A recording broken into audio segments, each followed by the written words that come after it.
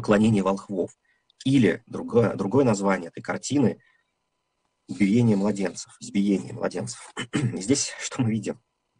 Да, Иисус, да, Мария. Mm-hmm. Иисус лежит в позе мертвого ребенка. У него цветы.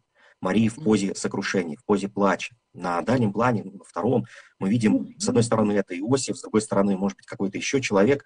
Вот они все бегут, они находятся в этом стремлении. Возможно, волхвы. А на дальнем плане уже некие казаки, которые ну, здесь выступают в роли людей, которые уничтожают младенца Иисуса Христа.